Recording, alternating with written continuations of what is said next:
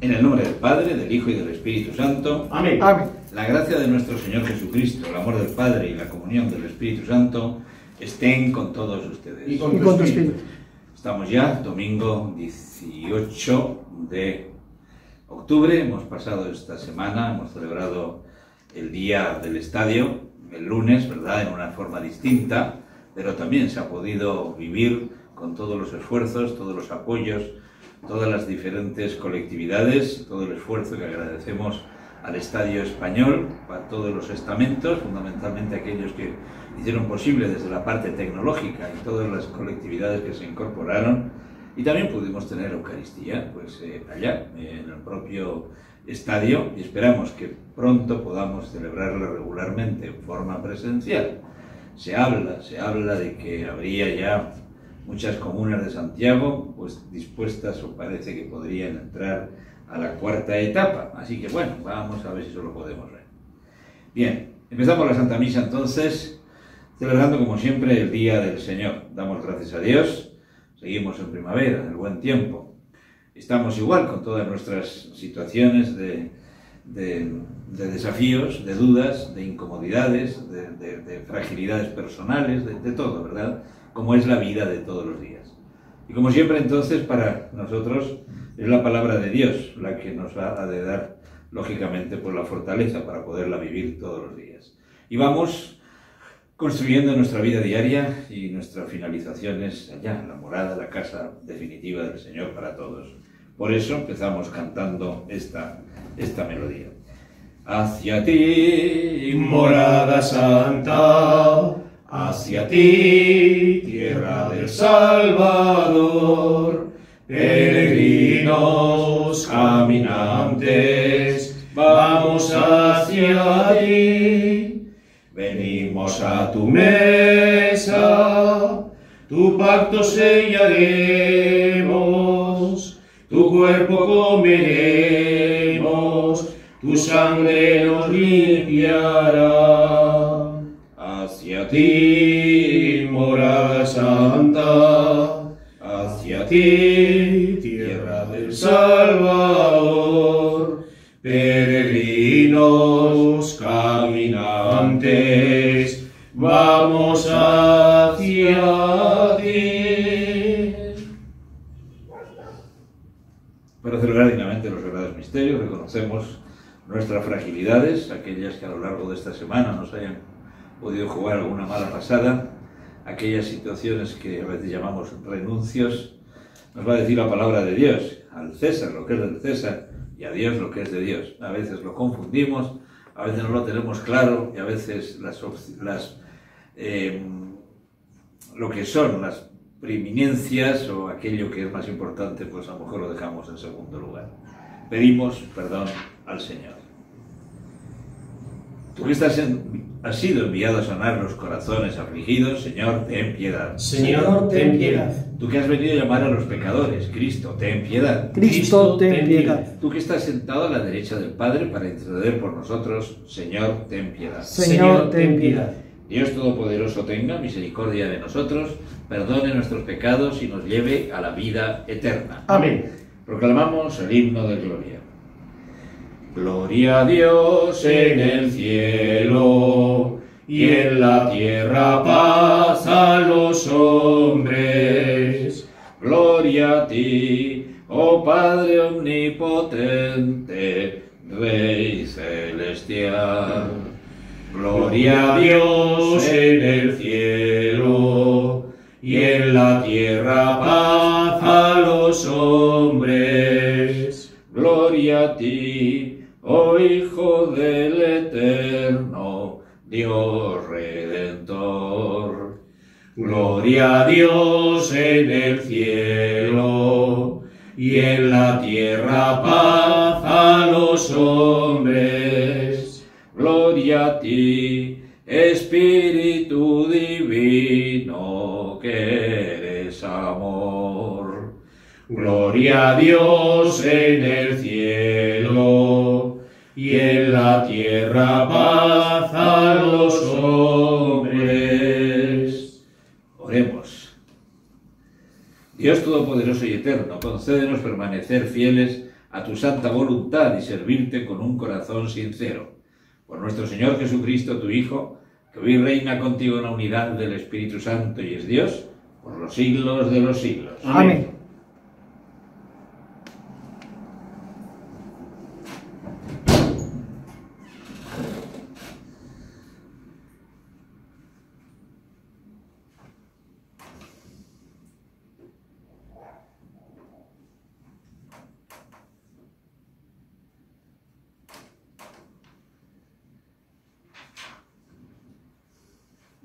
Del libro de Isaías.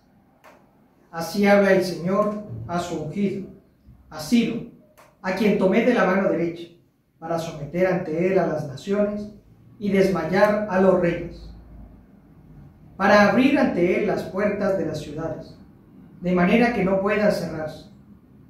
Por amor a Jacob, mi siervo, y a Israel, mi elegido. Yo te llamé por tu nombre, te di un título insigne sin que tú me conocieras. Yo soy el Señor y no hay otro. No hay ningún Dios fuera de mí. Yo te hice empuñar las armas, sin que tú me conocieras, para que se conozca desde el oriente y el occidente que no hay nada fuera de mí. Yo soy el Señor y no hay otro. Palabra de Dios. Te alabamos, Señor.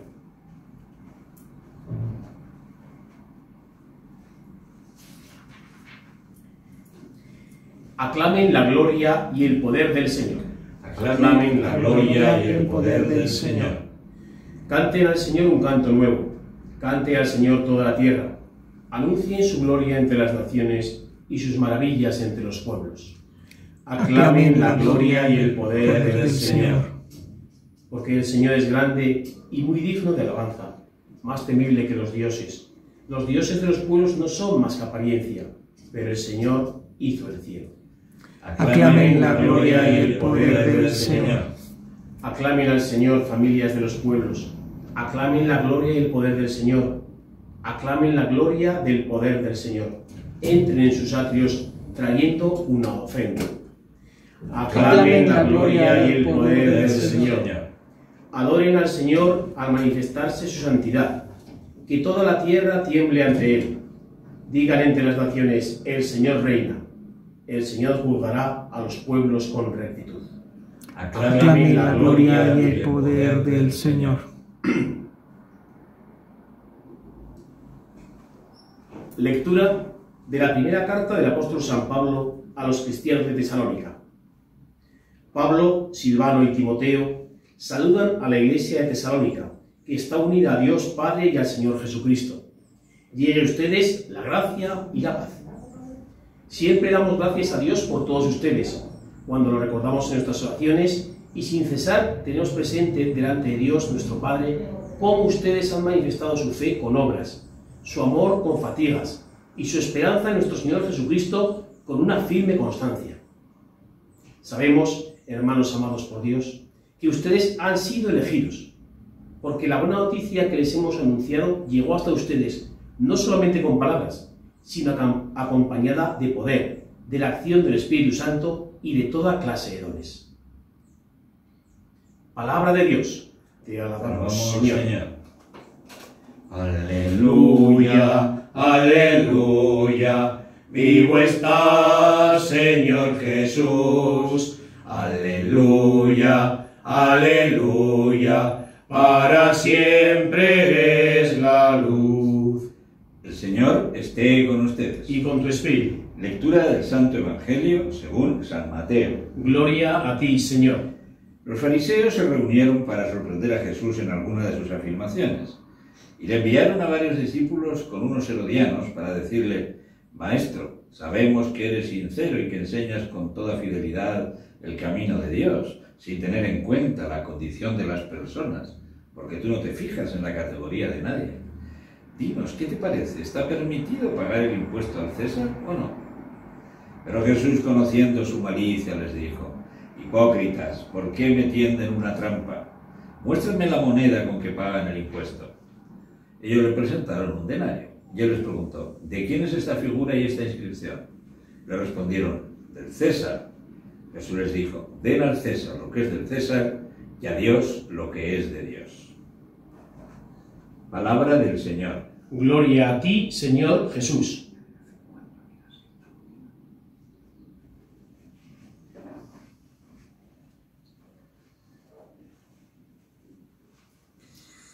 Dios tiene muchos, muchas formas distintas de hacer que el plan que Él quiere para la humanidad se pueda realizar. En la primera lectura hemos escuchado del profeta Isaías que nos habla de cuando el pueblo había estado en el destierro, unos 50, 60 años en Babilonia, y de repente el reino de Babilonia, pues los asirios fueron vencidos por los persas, los medos, y cambió la configuración geográfica y de poder en el Medio Oriente. Y entonces la política del rey Ciro era distinta a la de, los anteriores, que llevaban a la gente, se las llevaban a sus países, los sacaban de su tierra y entonces hacían una... Eh, les cortaban todas sus raíces y así eh, esa gente parecería que nunca más volvería. En cambio, este Ciro hizo otra cosa distinta. Era, seguía mandando ellos, podían colocar en todos los países sus autoridades, pero que cada gente volviera a su tierra.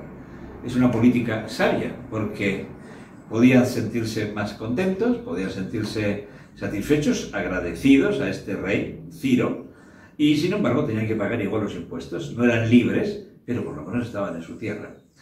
Entonces esta sapiencia que tuvo este rey Ciro hace que incluso lo llame el, el profeta Isaías, lo llame ungido del Señor.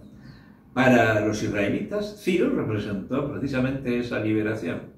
Y es que los caminos que tiene el Señor y la forma que tiene la, sociedad de organizarse puede hacer que, se, sean más ecuánimes o mejores políticas, ¿no? Por supuesto, no por eso Ciro y Darío y Jerjes y Artajerjes y todos los que vinieron después no dejaban de guerrear y ser bastante crueles, ¿no? La historia está llena de todo eso, los persas cuando quisieron invadir Europa, etc. Bueno, pero, pero también es verdad que Dios actúa a través de las mediaciones humanas. Y eso hay que verlo bien, hay que tenerlo en cuenta. Muchas veces estas autoridades endiosan totalmente y pretenden que, ser esos son dioses. Y así lo quisieron hacer todos los, los reyes de los imperios antiguos, incluso pues hasta la época de los romanos, ¿cierto? Bueno, por otra parte, el momento entonces en que el Evangelio se nos propone es también una de estas eh, maneras de relacionarse con el poder, el, cristiano en este caso. Los judíos tenían dos partidos grandes políticos, que eran los fariseos y los herodianos. Los fariseos eran muy celosos de sus tradiciones y, les caía muy mal el, poder romano opresor.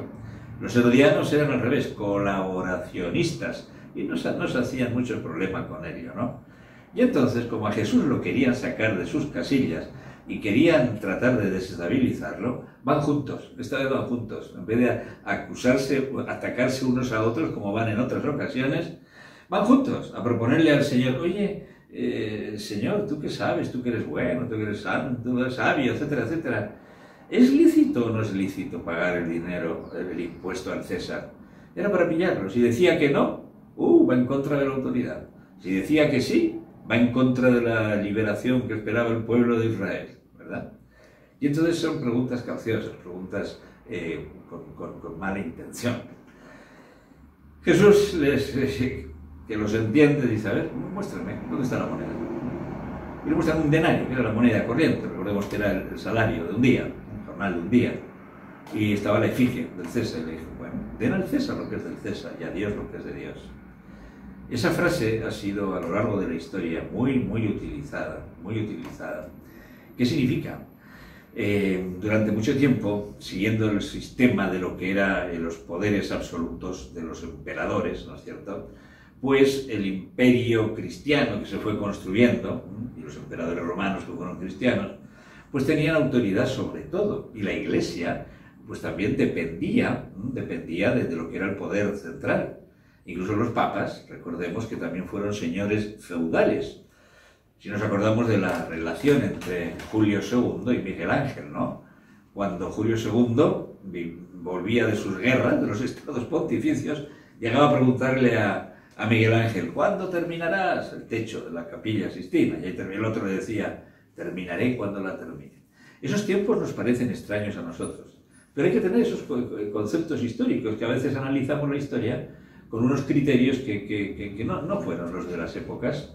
Eh, evidentemente, siempre ha habido algunas personas más eh, ágiles, más adelantadas, que han sabido mirar y tratando de luchar por esa independencia entre el poder político, por lo que es también el, eh, cumplir con Dios. Ya lo pone San, San Pablo, San, San, Pedro, uno de los discursos en los Hechos de los Apóstoles, cuando pueden entrar en conflicto, y de hecho entran en conflicto. Y dice una frase que hay que obedecer a Dios antes que a los hombres. Poder llegar a decir eso, obedecer a Dios antes que a los hombres, significa, pues en aquella época significaba por muchas veces el martirio, cuando pretendían que había que adorar al, emperador, que había que echarle incienso y tal, hubo mucha gente que dijo, no, el único Señor es Jesucristo, Jesús, el Salvador, es el único. Y muchos murieron mártires, mueren mártires hoy día. Recordemos que ya, no está el, famoso grupo de, estos fanáticos, de estos fundamentalistas musulmanes, ¿verdad? Que estuvieron entre Irak y, Siria y todo y todo lo que hicieron. Bueno, pues eh, según ellos, según su interpretación bíblica del texto del Corán y la Jidá, la Guerra Santa, y era que había que matar a los cristianos. Si no se convertían, había que matarlos. Bueno, también lo decían en las épocas medianas de la edad, los siglos XIII, XII, XI, las famosas eh, cruzadas. Hoy todo eso nos parece muy extraño, ¿no? Un poco raro. Pero igual siempre las personas han tenido que optar por ello, ¿no? Obedecer a Dios, obedecer a, cada uno en su ámbito. A veces el poder civil se quiere intrometer en la conciencia eh, hasta religiosa. Y a veces también la historia de la Iglesia ha querido entrometerse en proponer tal o cual tipo de gobierno, tipo de reinado, etcétera, etcétera. Ambas son inadecuadas. ¿Cómo poder entonces equilibrar las cosas? Un cristiano vive en el mundo de lo suyo, lo que le toca vivir, y tiene evidentemente obligación de cumplir las leyes. No puede un cristiano decir como para mí mi Señor es Dios, yo solamente lo que Él dice. Entonces, no. Si vivimos en una sociedad que es muy pluralista, ya hay leyes que el gobierno civil, ¿no?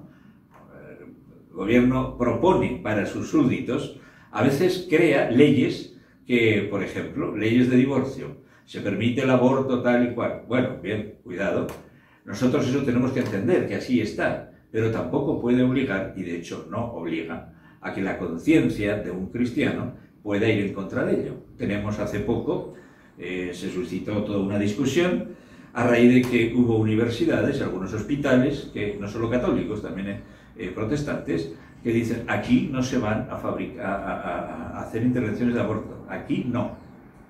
Entonces el, Estado ha tenido que, reconocer esa libertad. ¿no?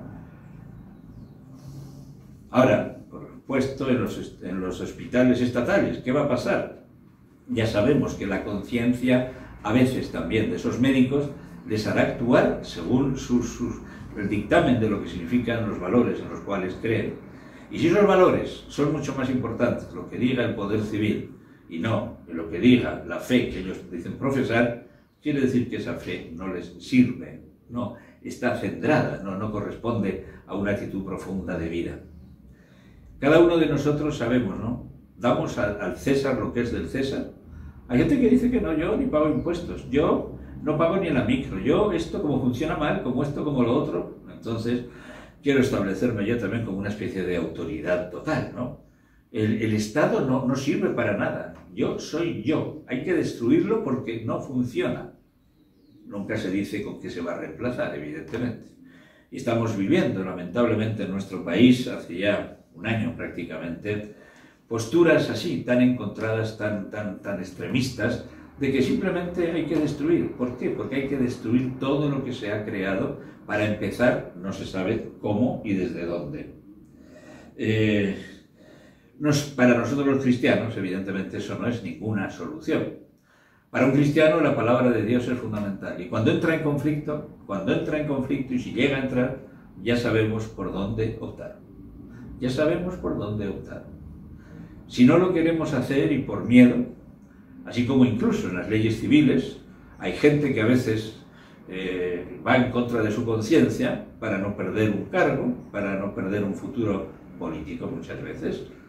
La historia nos lo dice leyendo los periódicos en Chile, ¿verdad? Lo que pasa muchas veces en, las líneas políticas, ¿no? que son esas ideologías que a veces a la gente le hacen decir que donde digo Diego, digo Diego. O en cambio todo según me parece importante, interesante o según me convenga. Bueno, si el cristiano no es capaz de vivir con esa fidelidad a lo que son sus valores y sus principios, pues entonces no vale la pena que se diga cristiano. ¿no? Es que no, bueno, es que ahora con el, divorcio, es que ahora esto, es que hay que ser moderno. Y de repente los medios de comunicación nos dicen conservadores, retrógrados, etcétera, etcétera. Bueno, hay que conservar los valores en los cuales creemos, evidentemente que sí. Y no significa ser retrógrado. Retrógrado es cambiar y ser más hacia atrás, ¿no? En lo que cada uno tiene que seguir. Lo que pasa que muchas veces lo que se llama progresismo no tiene nada que ver con ser progreso, sino simplemente es un cambio que está totalmente ideologizado. Cada uno sabe, cada uno entiende, tenemos obligación, evidentemente, de, de, iluminar nuestra conciencia y tenemos obligación también, como cristianos no podemos vivir en un gueto, tenemos obligación de participar en las instancias que conforman y construyen la, la sociedad. Dentro de una semana se nos llama a eh, participar en una, que nuestra opinión se haga presente en lo que significa algo importante para el país. Entonces sería muy triste que se dijera, no, yo para qué, yo no, yo me quedo en mi casa, yo no voy. Incluso hay gente que podrá decir, no es que es riesgoso. Bueno, ninguna cosa en la vida se realiza sin ningún riesgo, ¿no? Y habrá que presentar, y cada uno vote en conciencia, por supuesto. Pero lo que no se puede decir ah, no, yo no voy, yo no voy, entonces ¿qué pasa? Al final, los resultados de cualquier votación son poco significativos, ¿no? Y luego no podríamos, además, después decir o reclamar salga una cosa u otra si no nos queremos hacer presentes. Por supuesto, entonces, vivir con la conciencia y con el Evangelio, sabiendo dar a Dios lo que es de Dios. Al César sí, sí, también, ¿cómo no? No nos dice Jesús que al César no hay que tomarlo en cuenta para nada. No, no, no, en absoluto. Pero Dios también. Si el César se endiosa, no. Y si los religiosos quieren ser los que manejen el poder y las opiniones políticas, eso tampoco, porque no, no es la Iglesia. Es experta en humanidad, no es experta en política, en, en economía, en ciencia, en organización civil y todo eso. ¿no? Como cristianos, entonces, ese es nuestro compromiso construir la sociedad en la que vivimos, pero con los valores bien claros, y si entran en conflicto, ya sabemos por cuáles tenemos que optar. Creo en Dios Padre Todopoderoso, Creador del cielo y de la tierra. En Jesucristo, su único Hijo nuestro Señor, que fue concebido por obra y gracia del Espíritu Santo. Nació de Santa María Virgen, padeció bajo el poder de Poncio Pilato, fue crucificado, muerto y sepultado, descendió a los infiernos, al tercer día resucitó entre los muertos. Subió a los cielos y está sentado a la derecha de Dios, Padre Todopoderoso. Desde allá de venir a juzgar a los vivos y a los muertos. Creo en el Espíritu Santo, en la Santa Iglesia Católica, en la comunión de los santos, el perdón de los pecados, la resurrección de la carne y la vida eterna. Amén. Presentamos nuestras oraciones al Señor el que quiere que todos los hombres se salven y lleguen al conocimiento de la verdad. Para que el Señor avive el corazón de los fieles y los empuje a trabajar en la salvación de todos los hombres y en el anuncio del Evangelio a todos los pueblos, roguemos al Señor. Escúchanos, Señor, te rogamos. Para que sean desterradas todas las divisiones que separan a pueblos y razas y se mantengan firmes en la sociedad humana la igualdad, y la justicia, roguemos al Señor. Escúchanos, Señor, te rogamos. Para que los prófugos, los exiliados, los rechazados por la sociedad y los abandonados puedan regresar a la patria y para que el Señor conceda a todos un corazón bondadoso para con los pobres y forasteros, roguemos al Señor. Escúchanos, Señor, te rogamos. Para que Dios infunda en nuestros corazones su espíritu de amor a fin de que, revestidos con los mismos sentimientos de Cristo, amemos a Dios en los hermanos, roguemos al Señor. Escúchanos, Señor, te rogamos. Dios de sabiduría y misericordia, que con tu poder diriges misteriosamente las voluntades libres de tus criaturas. Escucha nuestras oraciones y no permitas que ningún hombre abuse del poder que ha recibido, sino que toda autoridad humana sirva al bien común de acuerdo con la palabra de tu Hijo y la humanidad entera te reconozca a ti como único Dios. Roguemos al Señor. Escúchanos, Señor, te rogamos. Ponemos también ante al Señor las intenciones que se nos han solicitado para la misa de hoy. Nuestros difuntos, Ángel Rey de Diego, Palmira de Prada, Elpidio Llaneza, Cirilo Córdoba, Ignacio de Regaray, Elisa González, Margarita Zvonimir, Vladimir, Julia y Esteban Borchos, Gisela y José Beulac. Roguemos al Señor Escúchanos, Señor, te rogamos. por nuestros enfermos. Los ponemos en las manos del Señor. Josefa Jiménez, Gabriela Fainé, Carmen Domínguez, Virginia Usín, roguemos al Señor. Escúchanos, Señor, te rogamos. Todo esto que a ti te pedimos, Señor, te rogamos que lo lleves a feliz término, tú que vives y reinas por los siglos de los siglos. Amén.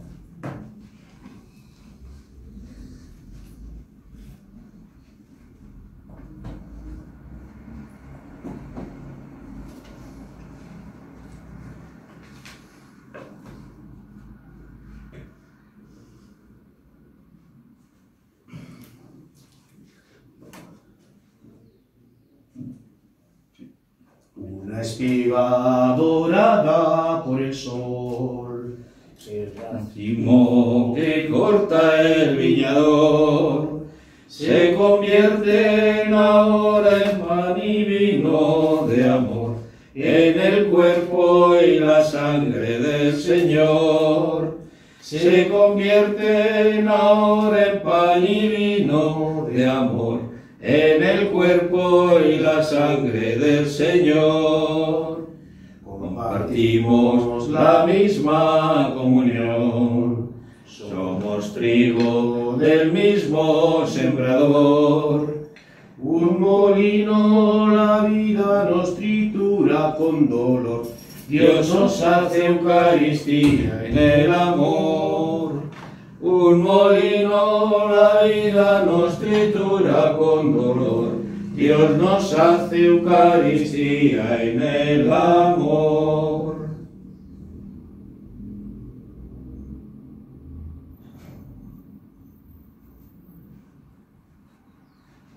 Oremos hermanos para que este sacrificio nuestro sea agradable ante Dios Padre Todopoderoso. El Señor recibe de tus manos este sacrificio para la alabanza y gloria de su nombre, para nuestro bien y el de toda su santa iglesia.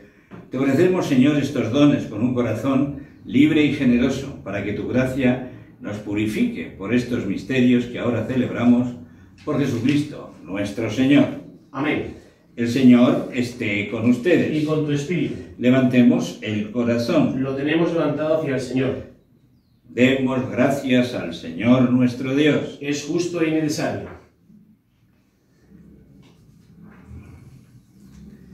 En verdad es justo y necesario, es nuestro deber y salvación, darte gracias siempre y en todo lugar, Señor Padre Santo, Dios Todopoderoso y Eterno. Tu amor por el mundo fue tan misericordioso, que nos enviaste como Redentor a tu propio Hijo, y quisiste que Él fuera en todo semejante al hombre menos en el pecado, para amar en nosotros lo mismo que amabas en Él. Con su obediencia filial recuperamos los dones que la desobediencia del pecado nos hizo perder. Por eso, unidos a los coros de los ángeles y los santos, proclamamos un himno a tu gloria, diciendo sin cesar, Santo es el Señor, Santo es el Señor, Santo es el Señor. Nuestro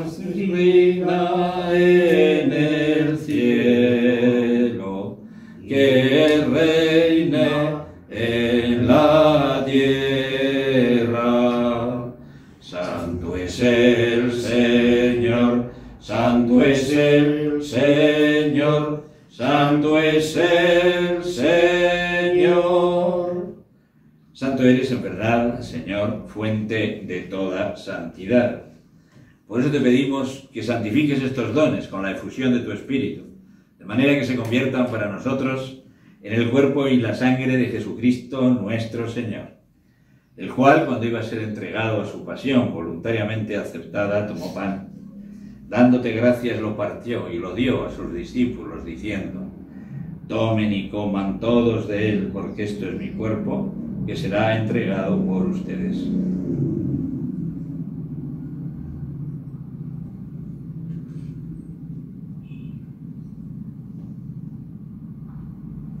Del mismo modo, acabada la cena, tomó el cáliz y dándote gracias de nuevo, lo pasó a sus discípulos, diciendo, tomen y beban todos de él, porque este es el cáliz de mi sangre, sangre de la alianza nueva y eterna, que será derramada por ustedes y por muchos para el perdón de los pecados. Hagan esto en conmemoración mía.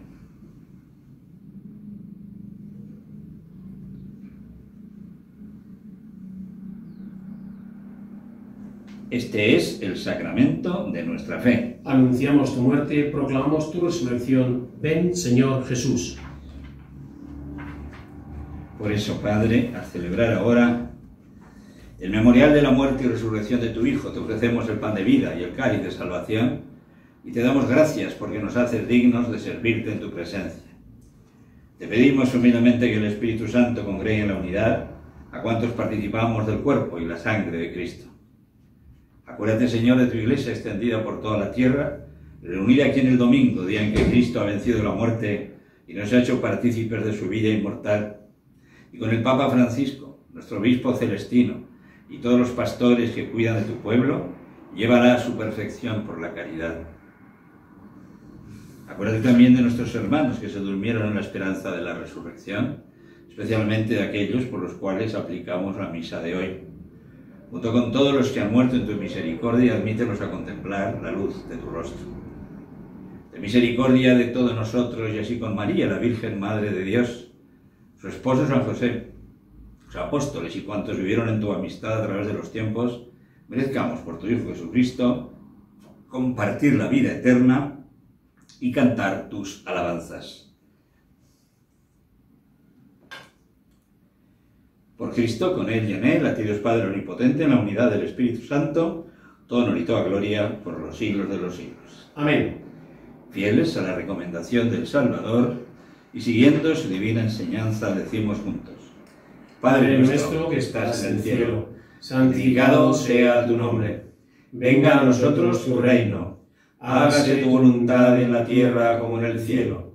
Danos hoy nuestro pan de cada día. Perdona nuestras ofensas, como también nosotros perdonamos a los que nos ofenden. No nos dejes caer en la tentación y líbranos del mal. Líbranos de todos los males, Señor, y concédenos la paz en nuestros días, para que, ayudados por tu misericordia, vivamos siempre libres de pecado y protegidos de toda perturbación, mientras esperamos la gloriosa venida de nuestro Salvador, Jesucristo. Tuyo es el reino, tuyo el poder y la gloria por siempre, Señor. Señor Jesucristo, que dijiste a tus apóstoles, la paz les dejo, mi paz les doy.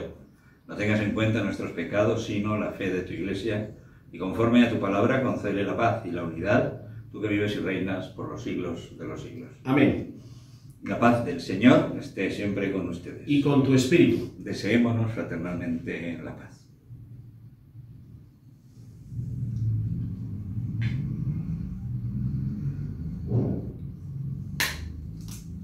Cordero de Dios, que quitas el pecado del mundo, ten piedad de nosotros. Cordero de Dios, que quitas el pecado del mundo, ten piedad de nosotros. Cordero de Dios, que quitas el pecado del mundo, danos la paz.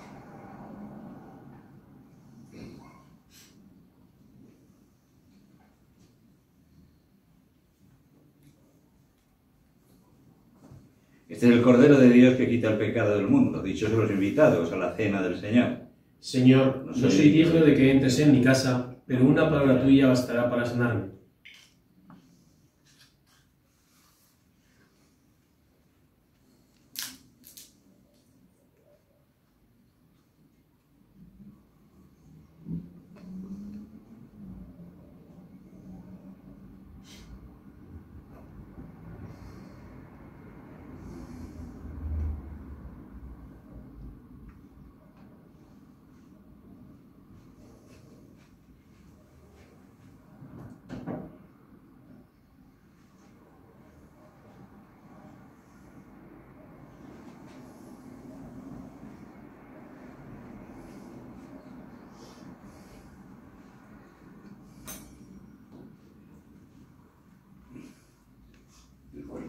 Jesucristo. Amén.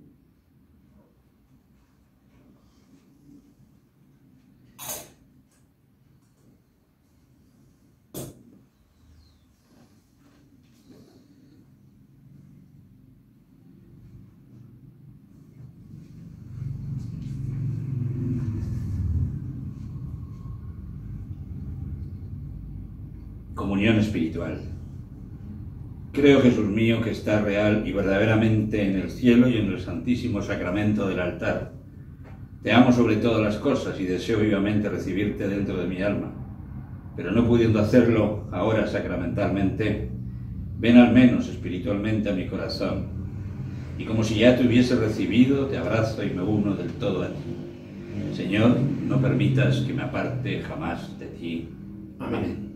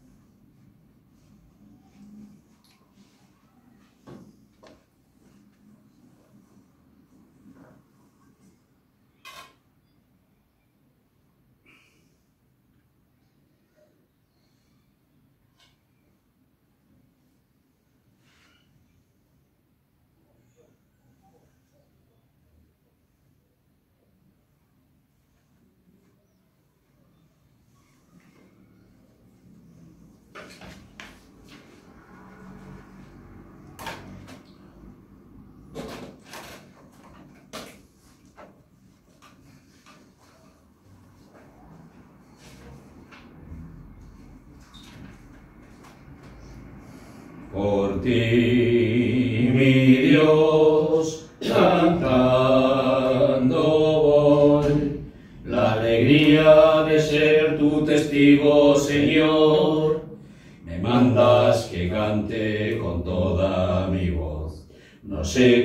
cantar tu mensaje de amor. Los hombres me preguntan cuál es mi misión. Les digo, testigo soy por ti, mi Dios, cantando voy. La alegría de ser tu testigo, Señor.